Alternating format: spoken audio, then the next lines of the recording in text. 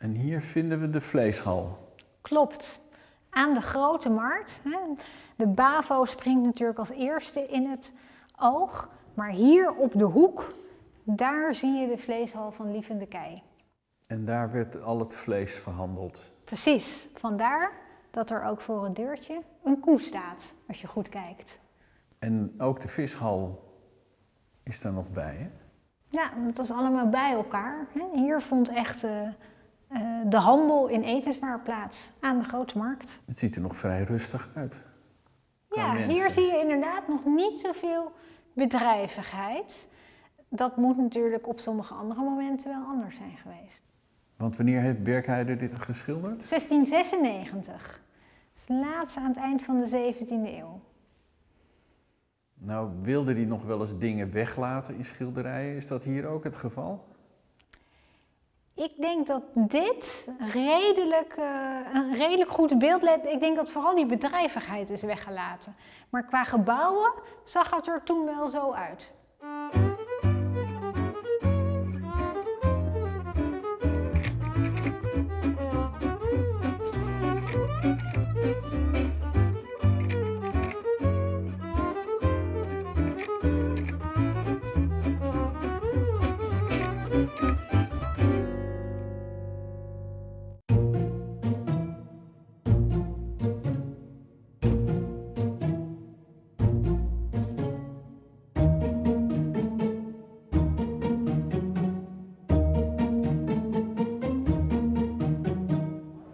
Het is een lekkere drukke boel hier bij de vleeshal.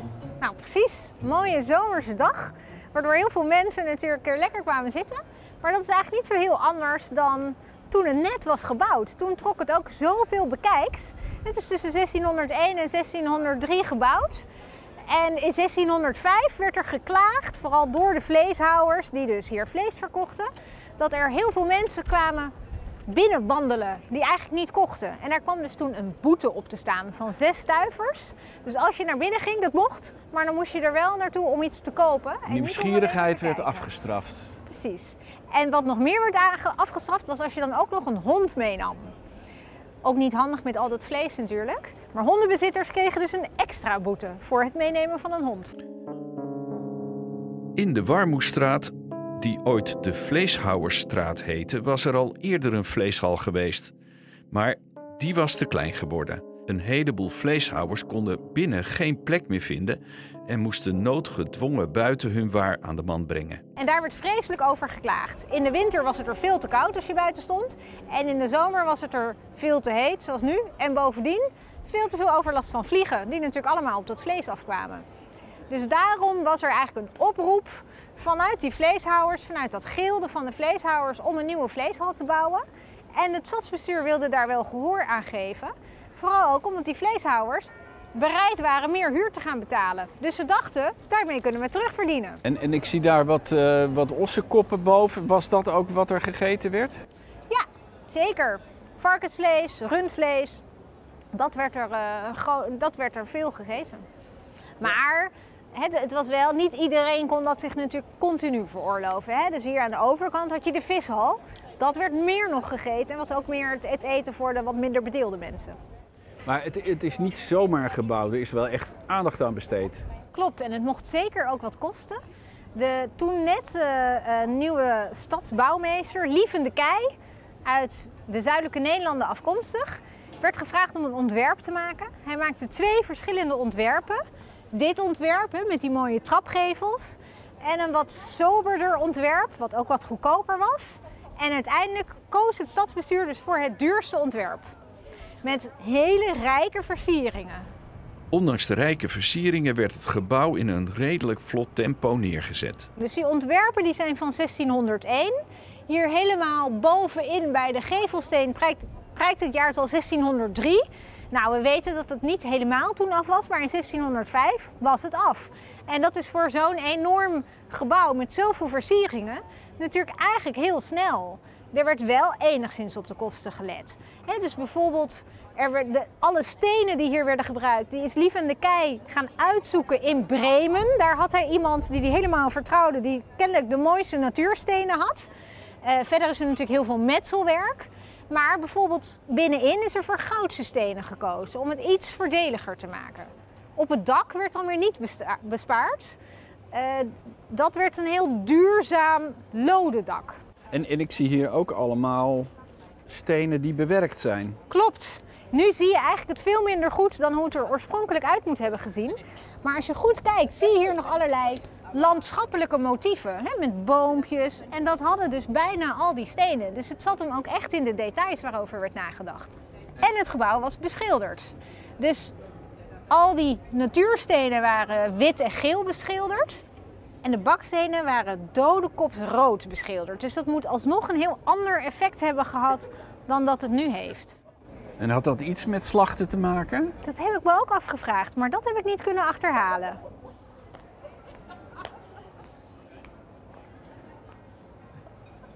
En dit is. Ja, dit is het vishuisje. Het is eigenlijk van dezelfde tijd als de vleeshal zelf, rond 1600 gebouwd.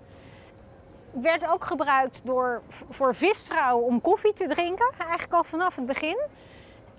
En dit, dit ziet er nu weer heel begin 17e eeuws uit. Maar het is heel lang heeft het er anders uitgezien. Het is in 1766 gekocht door het stadsbestuur van Haarlem voor 1800 gulden. En in de eind 18e, begin 19e eeuw heeft het eigenlijk een heel ander uiterlijk gekregen. Op een gegeven moment was het in verval geraakt, net als de vleeshal. Toen is het helemaal verbouwd en toen hebben ze eigenlijk weer die historische gevel teruggebracht. Ja, en, en ik las dat het hier enorm gestonken moet hebben. Ongetwijfeld. Maar dat zal denk ik zowel voor de vleeshal als voor het, de vishal en het vishuisje ge- gegolden hebben. Hè? Dat, ja, dat, dat was wel iets wat erbij hoorde. Nou werd het vlees echt gekeurd of het niet bedorven was. Zowel toen het binnenkwam als later ook weer met steekproeven. Maar in, met hete temperaturen bedierf het natuurlijk gewoon heel snel. Maar hoe deden ze dat? Ze roken eraan? Of, eh, Ik, ja. ja. En ik weet dat van eh, varkenskoppen, dat ze dan onder de tong keken om te kijken of er geen wormen in zaten. Kennelijk is dat iets waar je dat het eerste kan zien. Dus zolang er geen wormen zitten, kan het. Het is een beetje kruip door, sluip door nu, hè? precies. Dit ziet er straks weer heel anders uit. Maar we zitten nu midden in een tentoonstellingsopbouw. Ja, en de hal wordt nu dus heel anders gebruikt dan vroeger. Vanaf 1951 wordt dit gebruikt als tentoonstellingsruimte. Het begon met een grote tentoonstelling over Rembrandt-tekeningen en etsen. Vanaf 1992 is het het hele museumcomplex geworden. Hè, wat we, eh, met het vishuisje erbij en met de verwijhal erbij. En, en nu zijn jullie druk bezig met weer een nieuwe. Met Pink. In de zomer is hier een tentoonstelling, een grote mooie tentoonstelling van de Haarlemse kunstenares Pink te zien. Dan moet ik me zo voorstellen dat die tafels die stonden dan aan weerszijden en, en in het midden? Of... Klopt, er, stonden hier, er pasten hier 40 banken in. En een bank was dus eigenlijk zo'n zo'n stal waarop het vlees werd uitgestald en werd verkocht. En nou ja, die werden dus gehuurd door de vleeshouwers. En die stonden hier op die hele benedenverdieping. En dat zag er dan ongeveer uit als op deze tekening. Dit is overigens niet de vleeshal in Haarlem, maar die in de Nes in Amsterdam. Het ziet er wel mooi uit, ook hier binnen. Je zei, het, het, het, het mooie zit buiten, maar En het is ook een heel bijzonder interieur. Hè? Dus, nou, het is tweebeukig. En je ziet dus hier nou, zwellende zuilen, wordt het dan genoemd. En die kapitelen, die zijn eigenlijk heel bijzonder. Dus je ziet dat het in elkaar grijpende eh, vormen eigenlijk zijn. En dat is iets wat, wat Lieve de Kei echt zelf heeft bedacht. Dus dat je, wat echt kenmerkend voor hem is, maar wat echt iets nieuws was in die tijd. En dat zie je ook langs de buitenmuren. Heb je ook de hele tijd lagen tussen dat baksteen en dat natuursteen. Nou, dat is echt heel erg kenmerkend voor zijn stijl. Ja, en hierboven, dit worden dus Engelse gewelven genoemd. ja. Nou weet ik niet helemaal waarom het Engels heet. Ik denk dat het een Engelse uitvinding was hè, om ze zo te maken. Maar het is, het, is, het is eigenlijk nog steeds heel mooi hè, als je het zo ziet. ja. En, en waren dat ramen daarboven? Ja, dit zijn eigenlijk nog steeds ramen. Maar hè, omdat we het nu als tentoonstellingsruimte gebruiken en heel veel kunst natuurlijk niet zo goed tegen licht kan, zijn ze nu afgedekt. Maar hier zitten nog steeds de ramen. Als we naar de eerste etage gaan, zien we ook nog de ramen die in het oorspronkelijke gebouw aan de buitenkant zaten.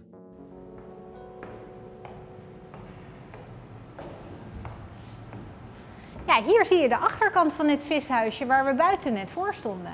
En deze trap en dat hele openen is eigenlijk in begin jaren 90 gerealiseerd van de architect Reuling. Die heeft deze ruimtes aan elkaar geschakeld. En zo kom je dus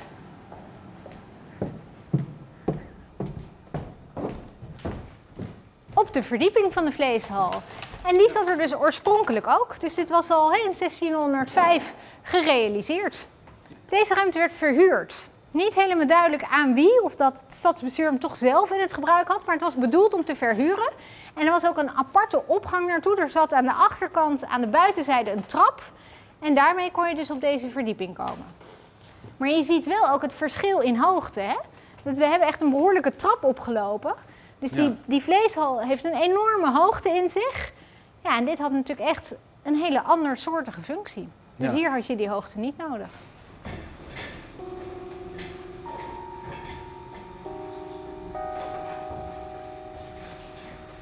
Hij wil echt dat we naar boven gaan, hè?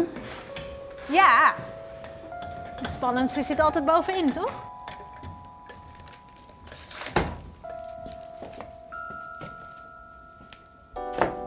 Ben je ooit wel eens zo binnengekomen hier? Nee, zeker niet op hakken. Wat zien we hier? Ja, de zolder, hè? Echt, echt de kapconstructie van Lieve de Kei dus. Het ziet er wel mooi uit met al dat hout zo. Heel mooi.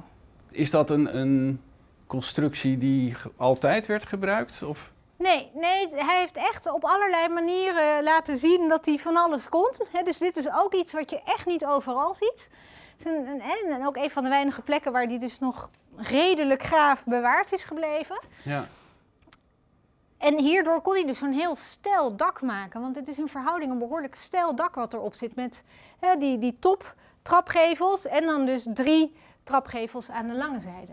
Het heeft iets van een omgekeerd schip. Ja, door die bogen. Ja. Ik ga jullie nu weer mee naar buiten nemen. Maar wel op een hele bijzondere manier die niet veel mensen zullen kennen, denk ik. Want oorspronkelijk bereikte je de bovenverdieping, hè, dus de verdieping op de vleeshal, via buiten. Had het een eigen ingang.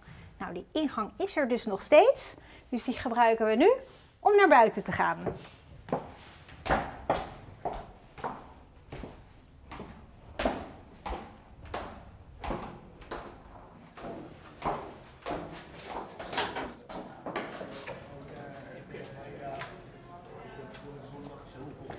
Deze was voor jou ook nieuw, hè? Precies, deze kende ik ook nog niet. Ja, dit was dus de, eigenlijk de toegang naar die verdieping bovenop de vleeshal. Zodat ze al die eh, vleesverkopers niet lastig hoeven vallen. Precies, niet door al die hompen vlees zich hoefde te werken.